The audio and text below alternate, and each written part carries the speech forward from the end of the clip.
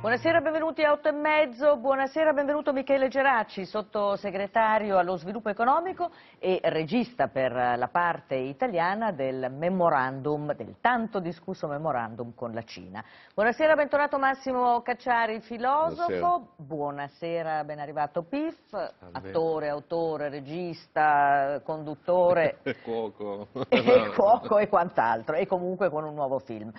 Allora, eh, si riaccende la tensione tra Italia e Francia sulla TAV e sulla Cina, l'accordo che noi stiamo per sottoscrivere con eh, Xi Jinping, come sapete, in visita a Roma. Per il governo Conte è un segno di forza o è l'isolamento eh, dall'Europa che causerà invece solo danni per il nostro Paese? Subito dopo la pubblicità.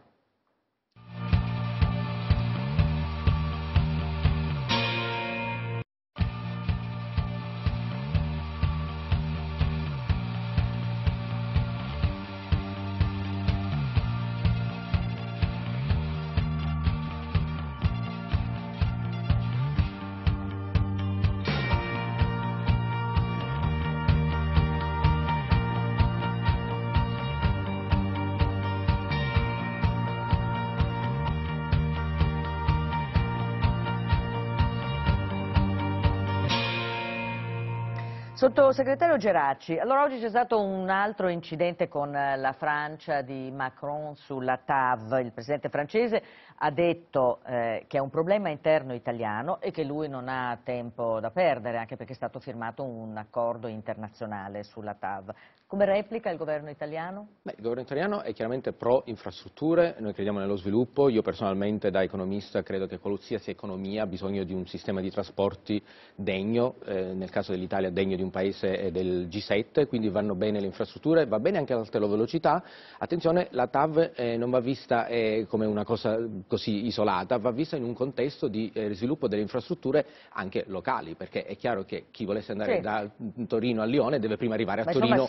Si, farà questa Questo TAV lo sapete, c'è un, processo, c'è un processo di decisione che tra l'altro non mi coinvolge direttamente sì, perché vabbè, è il Ministero... Fa parte del governo. Eh, lei, quindi... Faccio parte del governo, però io penso che si vada verso un approccio più olistico alle infrastrutture italiane, eh, non solo TAV sì, TAV no, ma sviluppo infrastrutture complessivo di tutto un sistema portuale, eh, ferroviario, aereo. Le piace questo approccio Cacciari? Non è che le renda la TAV più simpatica, perché lei Molto. è contrario? Molto, sono per un approccio olistico in tutti i campi, in tutti i settori. Mi pare che in Italia di un approccio olistico di sistema, eh, per il pubblico olistico viene dal greco olon, che vuol dire intero, tutto, eh, sia, sia quanto di più lontano sia accaduto nel corso degli ultimi almeno 40 anni. Quindi speriamo che almeno in un settore sia la volta buona, non lo so. Ecco, ma ehm, vediamo l'Italia troppo isolata, non solo sulla questione della TAV, ma anche adesso con la questione della Cina?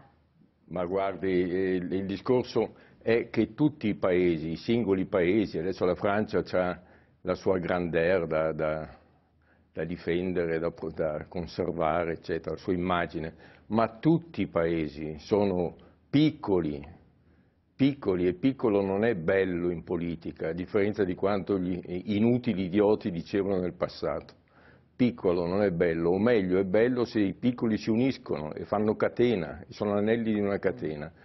I singoli paesi non possono nulla, ognuno cercherà disperatamente di accaparrare investimenti cinesi, americani, russi, ognuno, come sta avvenendo come sta avvenendo in Gran Bretagna, come sta avvenendo perfino in Germania, sta avvenendo ovunque, per forza, perché i piccoli paesi europei, ognuno per conto suo, è piccolo e brutto, non piccolo e Però, bello. Mi scusi Cacciari, per la verità il presidente francese Macron eh, vedrà Xi Jinping, il leader eh, cinese, insieme a Juncker, il presidente della Commissione, e insieme a Merkel, quindi Tanto qualcuno si sta organizzando un po' meglio. Ma del- bisognerà vedere, adesso bisognerà conoscere i termini dell'accordo, bisognerà conoscere i protocolli, bisognerà conoscere quali sono le intese, ma non cambia nulla nella sostanza. Nella sostanza un, un sistema che non è sistema, eh, l'opposto di olistico, europeo, dove vigono ancora tutti gli stati, perché sono gli stati lì e basta che decidono alla fine in Consiglio, dove non c'è politica sociale comune, dove non c'è politica fiscale comune, dove non c'è politica estera, questi nel mondo contemporaneo, ma dico a partire dalla fine della seconda guerra mondiale, perché i padri fondatori dell'idea d'Europa lo sapevano benissimo, lo dicevano, andatevi a leggere quello che diceva De Gasperi, Schumann, Adenauer, i singoli paesi europei non potranno mai competere né con i titani vincitori della seconda guerra mondiale, tantomeno adesso che ai due si sono aggiunti Cina e in India che va avanti al 6% di, di, di, di, aumento del PIL all'anno. La Cina investe il triplo di noi in ricerca e sviluppo, dico noi europei. La Cina negli ultimi dieci anni ha decuplicato le spese militari. Ecco, eh, Pif, ti posso... Anzi che si arra... si, Scacciari si arrabbia, mi mette ansia quando sono a casa, però in queste... Io sono d'accordo con lei, glielo dico subito, ora si arrabbia perché gli ho dato ragione. No. no. no tu che, che, che, idea invece ti sei, no, ti sei fatto? Uno di, del governo italiano che parla oggettivamente eh, con due voci diverse. No, a me poi... viene in mente, eh, visto che vengo dal cinema, il film Goodbye Lenin, la storia di una signora della Germania dell'Est che entra in coma, si risveglia e il comunismo non c'è più.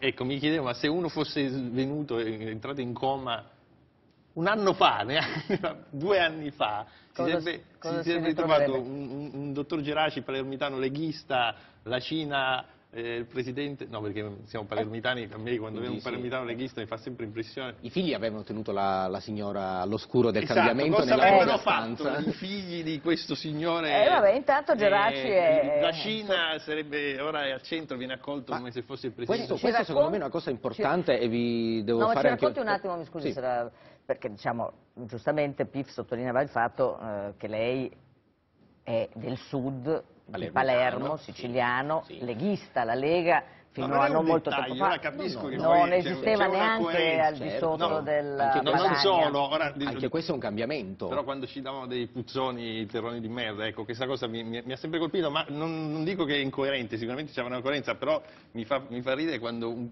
che vi, vi, stupite quando un palermitano vede un palermitano leghista, insomma un minimo di motivazione c'è. Ma no, ma io eh, sono intanto grato a Matteo Salvini che mi ha chiamato dalla Cina dove vivevo, ho vissuto io come sapete. Tutto torna. Tutto torna a, per cercare di dare un minimo contributo a, a, ad avere quell'approccio appunto olistico che il dottor Cacciari diceva non c'è mai stato, che stiamo piano piano cercando di dare. È chiaro che non è facile, però anche questo nuovo approccio alla Cina, questo nuovo approccio alle relazioni, alla Lega che si espande a, al sud, eh, attenzione la Sardegna, eh, ecco, la Basilicata, quindi c'è... Ci credeva, cioè, Salvini ci credeva, credeva quando noi eravamo dei terroni di merda o crede ora che siamo l'Italia prima gli italiani. A cosa credeva di più? Credeva, cioè questo mi, è sempre sfuggito. Ma sono frasi Ma che si saranno dette di inerzia per una Lega de, ah, degli anni 90 che adesso non c'è più e si è evoluta, quindi, anche noi cambiamo idea, l'importante è questo. Mm, quindi se io le insulto oggi non si offenderà, magari domani... Tra dieci anni glielo dico. Okay, Tra dieci anni dirò che ho cambiato idea, non è più la bellezza, allora la perdono. La bellezza dell'Italia del cambiamento, vero?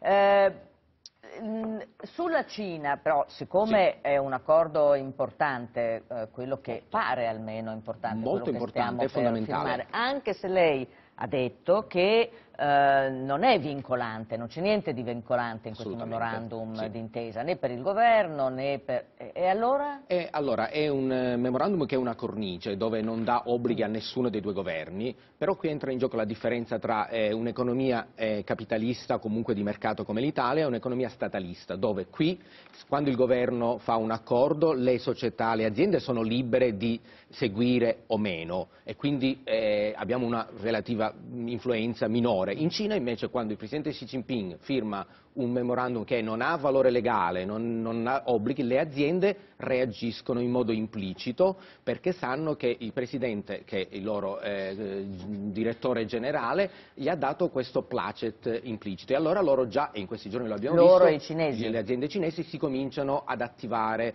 stanno cercando quali sono le opportunità di business. Oggi abbiamo avuto dei meeting con eh, 100 aziende cinesi che abbiamo messo a tavolo con altre eh, rispettive aziende italiane e loro erano curiose di dire, beh, il nostro Presidente è qui a Roma, domani andrà a Palermo, saremo a Palermo e anche lì dicono cosa c'è a Palermo, cosa si può fare. Questo per me è già un allora, piccolissimo segno positivo un... ed è lì la differenza tra l'obbligo che per noi non c'è, ma per loro neanche, ma loro si muovono come se l'obbligo ci fosse. È tutto chiaro, Cacciari? Anche perché siamo il primo e finora unico paese del G7 che ha deciso di eh, firmare con la Cina per la via della seta, no? che è l'altro punto in discussione, abbiamo fatto arrabbiare moltissimo gli americani e gli europei anche appunto. Non c'è, riprendo il punto di vista olistico, non c'è nessun ragionamento economico, nessuna strategia economica nel mondo contemporaneo che non sia politica e viceversa. È ridicolo separare i due aspetti. Eh, è chiaro che vi è una contrapposizione di spazi imperiali, in particolare tra Stati Uniti e Cina. Quando dico contrapposizione non vuol dire che sia necessario poi il conflitto tantomeno armato, perché ci sono infiniti motivi anche di convergenza, infiniti motivi anche di interesse comune, però ci sono interessi fondamentali contrapposti. E come andranno a finire, quale sarà il gioco, la risultante in questo disordine globale del mondo contemporaneo, di queste contrapposizioni che io definisco imperiali, e lo sono, non, non, non, si può dire. Quello che è certo è che questi imperi si muoveranno nel tentativo di accaparrare il massimo possibile di appoggi a livello internazionale. Per questo sia la Russia da un lato sia gli Stati Uniti dall'altro con Trump esplicitamente eh, lavorano perché l'Unione Europea non proceda, non maturi, non dia frutto. Questo è palese, evidente, dichiarato da tutte le parti.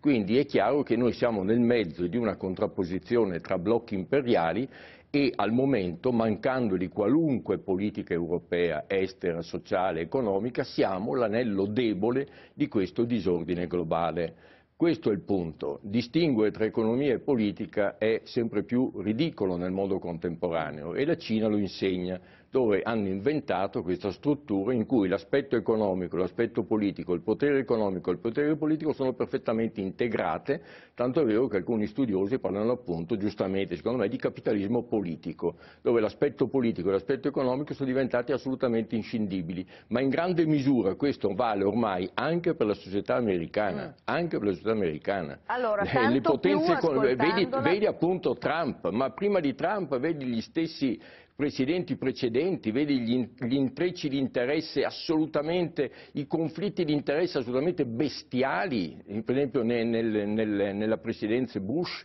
quindi ormai è un fenomeno globale. Di nuovo l'Europa o diventerà una voce europea in politica estera, in politica internazionale, oppure i singoli staterelli faranno la, voce, ecco. la, la, la sorte e finiranno con l'essere pure province è quello che sta capitando a tutti, però, nessuno escluso. Sottosegretario eh, Gerardi, Gerarci, noi però eh, stiamo andando da soli, piccolo staterello, eh, Beh, ci hanno definito de... come insomma, un piccolo club, non, no, non, diamo proprio l'impressione di lei... guadagnarci tanto in questi accordi con la Cina che è un colosso, che ha un sistema eh, economico completamente diverso. E do dove, dove, ci guadagniamo? Allora, noi? noi? ci guadagniamo perché... Ho letto eh... che abbiamo un accordo per cui esporteremo dalla vostra Sicilia per circa rosse. 450 no, milioni di dollari. fa bene a chi le vende, Arance ovviamente a chi le vende... Per, per, per chi, navi, sì, perché quella è la differenza. Chi, eh. Però è il, eh, dica noi, dove ci guadagniamo allora, noi siamo eh, all'interno dell'Unione Europea, ci sono altri 13 paesi che hanno già firmato, quindi l'Italia non è l'unico... Sì, ma voi non vi siete raccordati però con gli altri paesi? Noi noi abbiamo fatto, sa cosa, per la prima volta il leader, perché un paese appunto del G7, leader, fondatore dell'Unione Europea, tutto quello che vogliamo, per una volta in Europa fa il leader. E perché si sono questo... arrabbiati tutti però, è ovvio, tanto avete ma, fatto bene che si sono ovvio perché io cosa faccio? Tutti. Il dottor Cacciari conosce bene Venezia e noi stiamo cercando di fare un accordo per esempio con i porti del nord e dell'Adriatico Cosa farei? Chiamo il mio collega ad Amsterdam, olandese, e gli dico senti abbiamo una strategia comune per i porti, però sai forse un po' del traffico da Suez, invece di fare via Gibilterra a Rotterdam, lo fermiamo qui tra Genova e Venezia, è chiaro come si realizza una eh, eh, strategia europea sui porti? È chiaro che ognuno fa gli interessi propri e, se mi consente, la Cina ha investito nei porti di Le Havre, Bilbao, Valencia, Marsiglia, Rotterdam, Mersa, Zeebrugge, Dunkirk, Malta, Pireo, anche Gibilterra e Istanbul. Pireo in Grecia. Do, dovunque, cosa stiamo facendo? Stiamo cercando di giocare anche noi eh, un ruolo attraverso i porti ah. che a loro possono interessare. senza, fa il suo mestiere. Senza venderli, attenzione, perché la non stiamo Cina vendendo... fa il suo mestiere, come gli Stati Uniti, divide e timpera.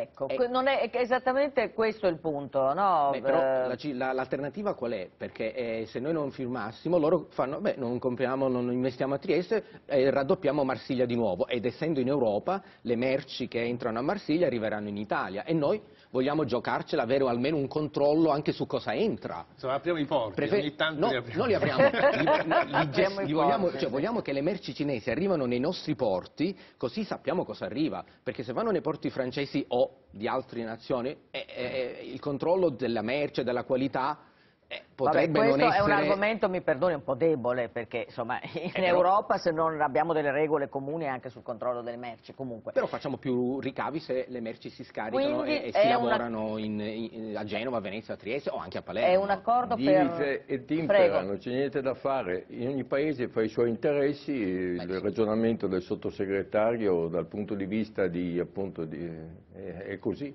perché se non lo fa l'Italia lo fa la Francia, lo fa le cose. L'assenza di Europa condannerà tutti, condannerà alla fine, a diventare province. Ci sarà chi è contento, perché tutto sommato forse è il nostro destino. Io penso sempre di più che sia proprio il nostro destino, non c'è più nessuna- nessun spirito diciamo, europeo diffuso per dire beh, diventiamo protagonisti politici, economici, anche militari nel mondo contemporaneo. Questo, questo spirito non esiste più. Quindi è inevitabile andare nella direzione che indica il sottosegretario. O c'è una reazione soprattutto dei giovani, delle nuove classi, dire no, io non faccio, non faccio il suddito. Io qui eh, cioè, sono, sono padroni in Europa, che è l'unica dimensione nella quale puoi essere padrone, perché in altre dimensioni non sei padrone altro che del tuo focolare domestico e Ho capito, ma la Lega, focherello. partito al quale appartiene il sottosegretario, di sicuro non lavora per questa Europa. Ma, ne- ne- ma neanche Trump, ma neanche Putin lavorano all'opposto, ma neanche la Cina non ne frega niente. La Cina gliene frega di fare gli accordi dove, dove Ah, gli certo. conviene. Una volta sarà in Italia, l'altra volta sarà in Olanda, quell'altra volta in Gran Bretagna, non gliene frega niente. Sono paesi che sono tutt'uno col grande capitalismo finanziario. Ubi pecunia, ibi patria, vogliamo ficcarcelo nella testa o no? Noi stiamo facendo, stiamo cercando di fare gli interessi del, del nostro paese, perché appunto, come ha detto il dottor Cacciari, gli altri lo fanno, ma attenzione, non è che lo fanno, lo hanno fatto. Ricordiamoci che il treno che va, l'unica via della seta già esistente, una delle poche, è da Duisburg alla Cina, quindi la via della seta c'è già e c'è in Germania, cioè dove hanno i porti hanno venduto i porti, dove non li hanno hanno i treni. È un accordo per quanti miliardi questo che stiamo firmando con la Cina? Questo eh, memorandum non ha appunto obblighi, però io eh, penso che serva a colmare quel gap di export. L'Italia vende alla Cina 13 miliardi, la Francia, l'Inghilterra 20, quindi stiamo cercando di colmare questi 7 miliardi, questa è proprio mia responsabilità e mi impegno a realizzare questo nei, nei prossimi anni per andare alla pari con gli altri paesi che zitti zitti, come lei diceva prima, si imita la Merkel, Juncker a Parigi, zitti zitti fanno affari. Domani eh, Xi Jinping andrà a Parigi, sicuramente ci sarà dell'ordine per, gli- per degli Airbus, la Germania appunto ha il treno, i porti sono in mano ai cinesi, la Singenta, la eh, società svizzera, Mm. è stata venduta ai cinesi. Eh, ha, ragione il dottor Cacciari, questo non- è, è- è- è già successo, quindi la nostra scelta è giochiamo anche noi la nostra partita nell'interesse del Paese o aspettiamo? E io, come dicevo prima, l'Italia vuole giocare un ruolo, questo è forse leghista, e vuole giocare un ruolo forte in Europa.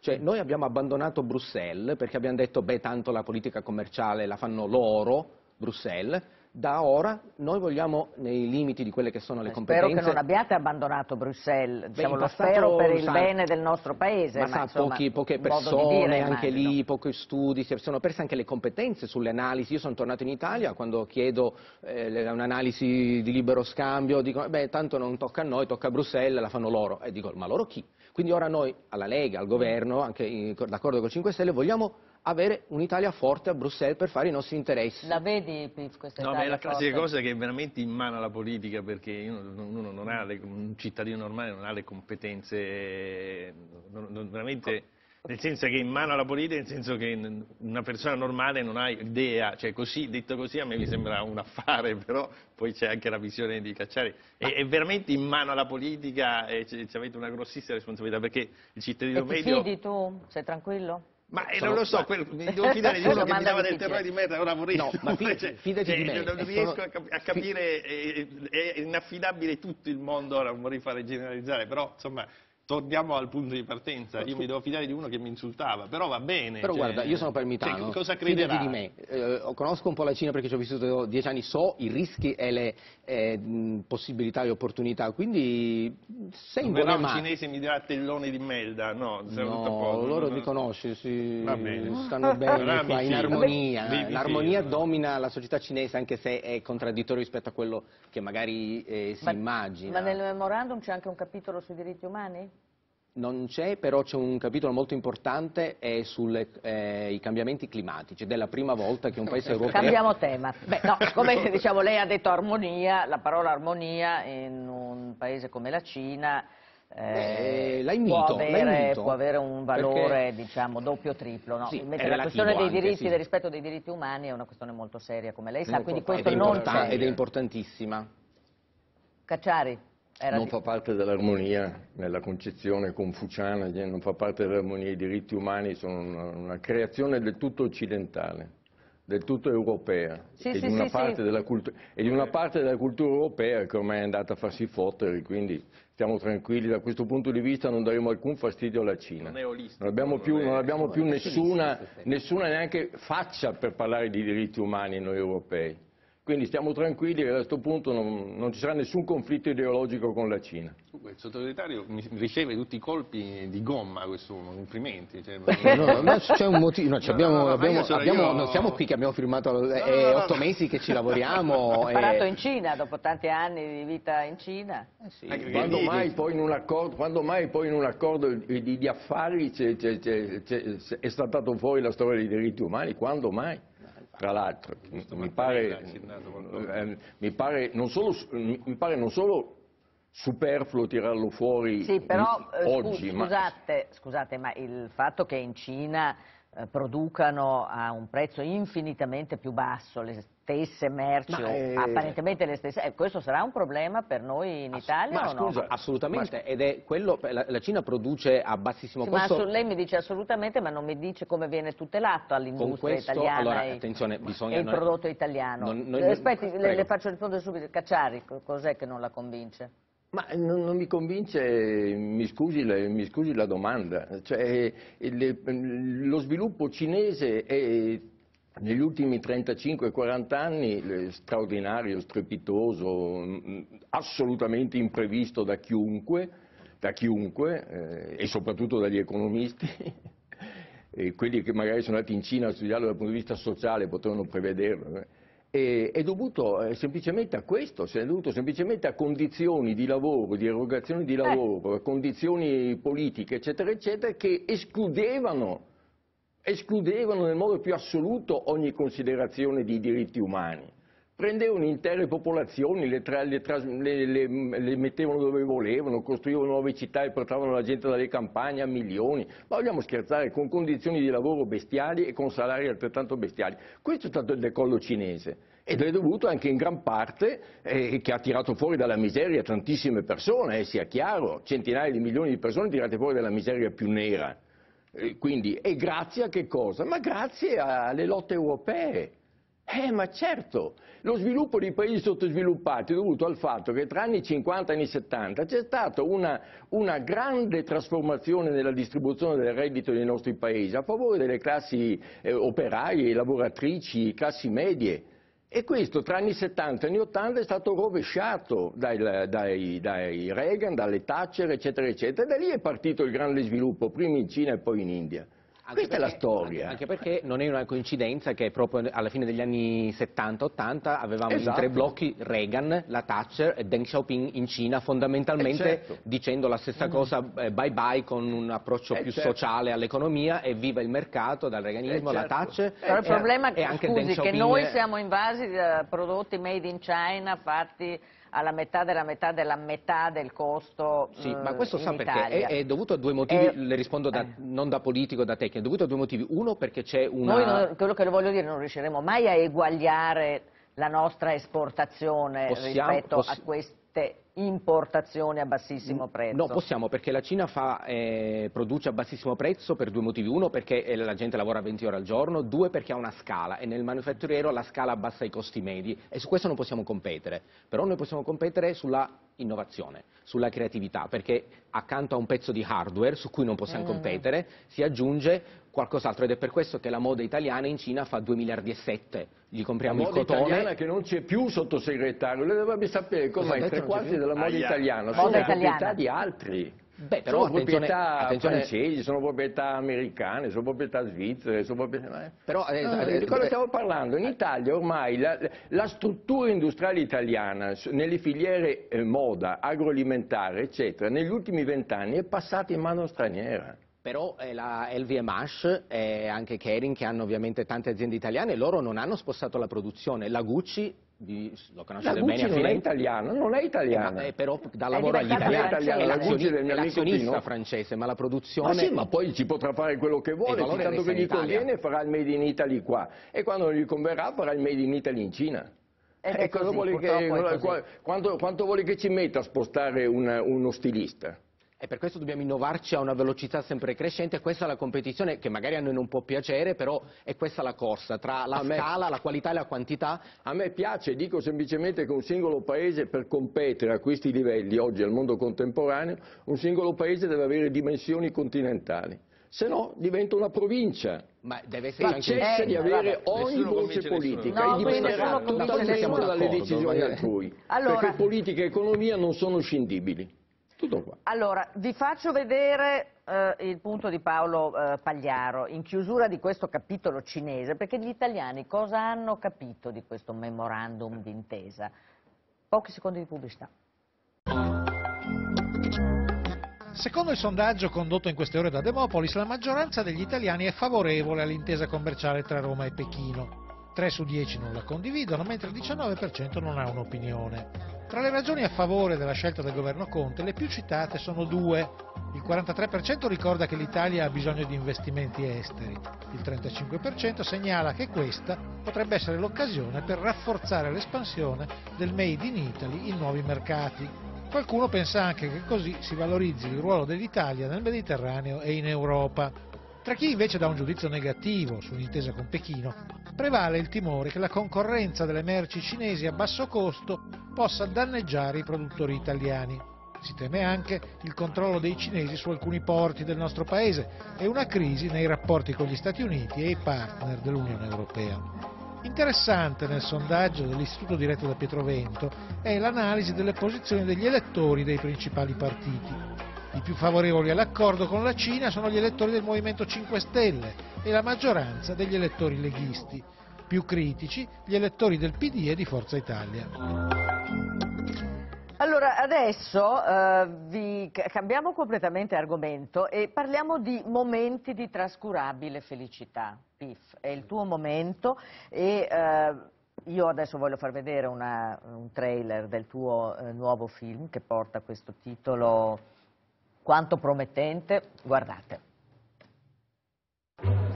È da anni che passo da quell'incrocio, senza mai sbagliare. Stavolta...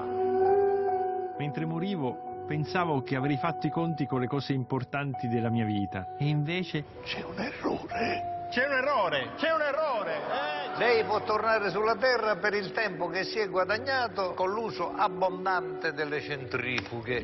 Un'ora e trentadue. Io pensavo dieci anni. Voglio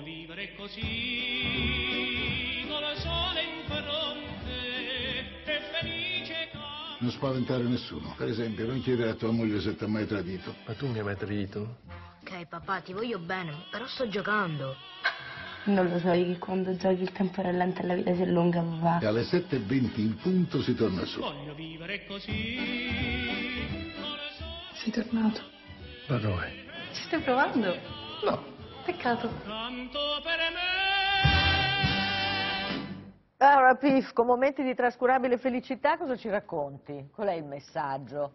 Eh, il messaggio è, vedi, io nel film muoio e, e, torno per un'ora e 32 minuti per, perché ho preso delle centrifughe, ma che valgono soltanto un'ora e 32 minuti e, e, e, rifaccio i conti col passato, con gli errori e, invece di pensare ai grandi ai grandi momenti della vita, penso ai momenti di trascurabile felicità che- e infelicità, che poi sono quelli che sommati fanno la vita. Dimmene uno tuo, un momento di trascurabile felicità? Ma volevo, volevo- volevo- volevo attualizzarlo, un momento di trascurabile felicità quando la- il, go- il governo si ecciterà nella- nell'aprire i porti sia, sia con le merci che con le persone umane. Ecco, questo sarebbe un momento neanche di tanto trascurabile felicità. Cioè, con lo stesso entusiasmo e lo stesso ottimismo che parlare degli esseri umani come, come con le merci. Prevede che in futuro sentiremo Salvini più spesso dire apriamo i porti o lo Eh, escludiamo? guardi, eh, i numeri, fino a quanto? Perché eh, la capacità è limitata, poi il problema si riporrà. Possiamo farlo una volta, due, dieci, cento, la- l'Africa arriva- arriverà a due, a due miliardi e mezzo. Basterebbe andare in Europa, Eh, fare- ma- andare nelle no, la- riunioni dove scusi. si parlare de- de- de- del trattato di Dublino, No, ecco, signor Piff, perché è chiaro, posso? Eh, è chiaro eh, che non è una cosa che si occupa, allora torna no, all'argomento, in quel caso l'Europa aiuta, mi- ecco, a frequentarlo più spesso Però- e parlare di questo sarebbe utile. Però mi consente una battuta per concludere. L'economia è dominata da due cose, una è la demografia e l'altra è la geografia. Vabbè. che Ma noi è- siamo 500 Guardi, anche Cacciari è d'accordo, abbiamo chiuso... No, con- però, no, però eh, no, Cacciari è d'accordo sui porti più aperti, No, no, sulla- no, io, sono su- io sono d'accordo sulla demografia e quindi una persona che ragiona e che sa che in Africa appunto saranno tra breve più di 2 miliardi, e cioè quattro volte quelli che siamo noi, a differenza di quello che era un secolo fa dove noi eravamo il doppio di loro, grosso modo, hai capito? In una situazione di questo genere o c'è una politica mediterranea, una politica africana che attualmente la fa la Cina facendo e shopping, europea, no? Abbiamo altro. sempre detto. Beh certo, o se, o se no noi faremo gli spot alla Salvini per l'appunto, che una volta eh, c'è la Diciotti che sbarca, l'altra volta no, un'altra volta c'è certo, uno alla fonda, eccetera, eccetera. E questa sarà la situazione. certo, Quindi sì. bene, bene, la politica che si fondi su quelle- quel poco di scientificità che può avere. L'aspetto demografico è, uno quel- è uno di quegli aspetti su cui la politica scientificamente, tra virgolette, potrebbe fondarsi. Lo faccia. Lo facciamo, lo facciamo. Perché se io- a- appunto i due miliardi di africani in un modo o nell'altro, se per nave, se per zattera, se per aereo, se volando, ma arriveranno dove pensano di poter star meglio. Cosa volevi Sì, dire, se, dico, se io mi assumo la responsabilità di tutto questo, di questo spostamento epocale da solo, come Ma di volutamente... nuovo l'Europa, volu- sottosegretario, Esatto. ma di nuovo l'Europa, Ma anche- è ma quello anche- che continua a se io- dire, io mi- soltanto a sì, livello ma- europeo si può fare. Esatto, Quindi però perché- il- il e allora problema- perché la state sfasciando con i sovranisti ungheresi, polacchi, Eh, slovacchi, ma per eh, Geracci, sì, perché la state sfasciando? Risponda, eh, Geracci. Rispondo, rispondo, rispondo per quello che ha detto il dottor Cacciari, è due, due miliardi e mezzo, sono quattro volte... No, ma perché state sfasciando Perché l'Europa? Lasci stare no, No, politica- perché vi state No, una di, di assumere tutta la responsabilità da soli, No, dicendo perché- l'Europa no, non ci perché- aiuta no. e non andate in Europa a parlarne? No, perché ha ragione il dottor Cacciari che un paese piccolo deve eh, comunque avere una soluzione se si, com- si- si, mm, comporta come con gli altri assieme, ma l'Europa da sola, neanche la, la dimensione dell'Europa è sufficiente a risolvere il problema dell'Africa. Beh, insomma, Beh, quattro beh, volte abbiamo insomma, detto, sì. no? Dove- Guardi, dove- sì, Sì, vabbè, ma sì, questa è, una cosa, ma ne- questa è una, una bella, una bella scusa per uscire. Eh, ma ma, che- ma ma se è si sposta, ma si fa un- la politica europea, Eh, bisogna organizzarsi per placare devo questo, fenomeno, e mandatemela la politica europea su due No. miliardi e mezzo di Eh, migranti. ma anche la politica europea perché ci sono gli stati sottosegretario lo sa benissimo la politica europea non c'è perché questa storia dell'Europa è una palla perché no, in Europa ci sono ancora e soltanto gli stati la Commissione conta nella misura in cui poi è d'accordo col Consiglio e il Parlamento non conta Va niente bene. come la Lili Gruber sa perfettamente per, Ecco. per sofferta esperienza E, e soprattutto io so che se adesso non chiudo, chiudono la mia trasmissione. Quindi io intanto la ringrazio, sottosegretario, stia Grazie. tanto con la Cina in Cina, però stia tanto di più anche con l'Europa, per favore. Che... Con l'Italia prima. Eh, ma sì, Italy first, Italia per questo sì. basta, Ecco, tu- non Badania c'è is not. Italy, basta. Non c'è più, non c'è più. sono, diven- Eh. sono diventati italiani e nazionalisti, è veramente, Ecco, ha ragione sì, Piff, per la cioè, Lega, veramente, è veramente una, bella, una bella metamorfosi di cui mi rallegro. Allora Piffi, il tuo nuovo film Momenti di trascurabile felicità e eh, professor Cacciari volevo ricordare che lei eh, cura una collana giuridico-filosofica insieme a Natalino Irti per la nave di Teseo e sono usciti questi due libri, vediamo le copertine, ecco qua, una copertina, poi c'è l'altra. De- Jure Uno, uno è convivere. filosofico filosofico e l'altro riguarda la famiglia, cioè la famiglia che non c'è più, diciamo così. Ecco, questo lo diamo, questi due libri li diamo al Al- sottosegretario al Geracci, così lo sottosegretario spiega ai cinesi. suoi colleghi leghisti. grazie, grazie mille. Linea subito a Diego Bianchi, al quale chiedo venia per il ritardo, propaganda live con Ezio Mauro e molti altri ospiti, quindi restate con noi e noi ci vediamo come sempre domani alle 8 e mezza. Arrivederci.